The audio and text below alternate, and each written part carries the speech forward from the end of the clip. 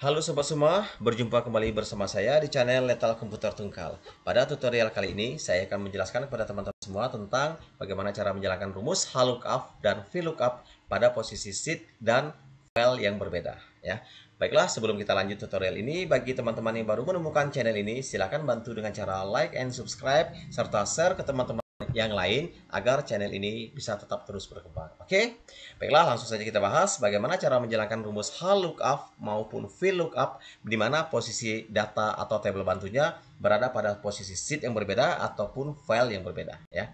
Nah, pada pembahasan pertama saya akan coba menggunakan rumus hal lookup dan fill lookup pada posisi sheet yang berbeda. Ya, langsung saja kita jalankan. Di sini sudah sudah saya sudah saya siapkan pada tabel pertama, ini tabel yang akan kita isi. Kemudian pada tabel kedua atau sheet yang kedua ini berisi tabel bantu horizontal, artinya ini akan kita gunakan rumus lookup dan untuk tabel yang ketiga ini berisi tentang tabel bantu vertikal ya, eh, jenis makanan dan ini nanti akan kita gunakan rumus VLOOKUP ya. Baik, langsung saja kita jalankan rumus pertama yaitu rumus lookup menggunakan sheet yang berbeda, menggunakan tabel bantu pada posisi sheet yang berbeda ya. Uh, seperti kita ketahui, rumus lookup itu tinggal kita ketik sama dengan lookup. Ini singkatan dari horizontal lookup ya. Kalau sudah buka kurung, kemudian sorot posisi sel kunci seperti ini. Nah, kalau sudah titik koma, berikutnya buka posisi sheet yang berisi tabel bantu kita. Ya. Nah, ini tabel bantu kita mendatar ya, yaitu horizontal di sini silakan teman-teman blok.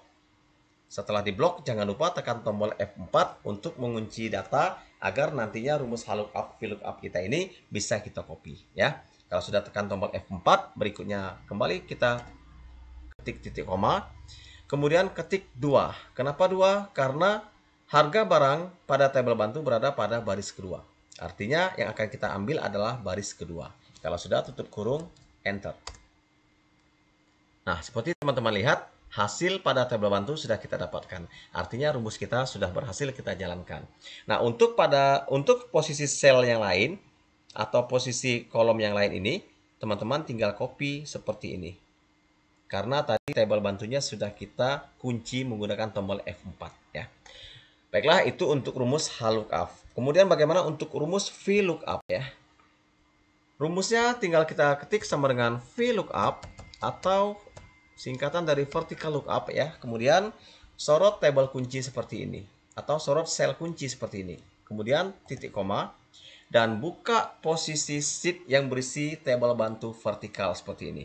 Kalau sudah, blok semua tabel bantunya dan kunci menggunakan tombol F4 ya di mana fungsi F4 tadi sudah saya jelaskan untuk mengunci data agar tabel bantu bisa rumus seperti tabel bantu bisa di copy ya. Kalau sudah kembali titik koma ya tekan titik koma. Berikutnya untuk VLOOKUP yang kita hitung adalah uh, data berada pada kolom keberapa.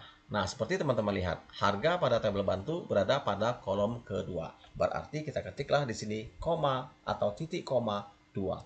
Kalau sudah tutup kurung enter. Ya Begitu enter, maka dapatlah hasil di sini untuk harga e, lontong sayur sebesar Rp8.000 ya. Kemudian untuk mengcopy, teman-teman tinggal tarik seperti ini. Ya, karena tabel bantu kita sudah kita kunci menggunakan tombol F4, jadi untuk yang lain kita tinggal copy seperti ini, ya. Nah, ini untuk tabel bantu yang menggunakan tabel bantu vertikal ya. Nah, oke di sini kita rapikan terlebih dahulu menggunakan format cell pilihan accounting ya agar tampilan simbol RP-nya juga tampil seperti pada kolom pertama tadi. Nah, seperti ini. Ya.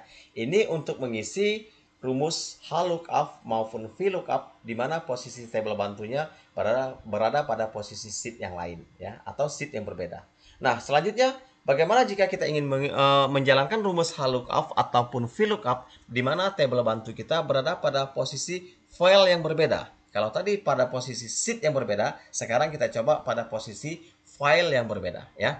Nah, di sini saya sudah persiapkan table uh, maaf uh, file ya, file untuk tabel bantu mendatar atau horizontal dan file untuk tabel bantu yang vertikal atau untuk rumus VLOOKUP ya. Nah, teman-teman bisa lihat ini berada pada uh, file yang berbeda ya. Ini file yang akan kita isi. Ini adalah file bantu untuk uh, file untuk tabel bantu horizontal atau lookup dan ini file untuk tabel bantu VLOOKUP ya. Baik, kita kembali ke tabel pertama tadi. Ini kita hapus dulu ya. Kita hapus.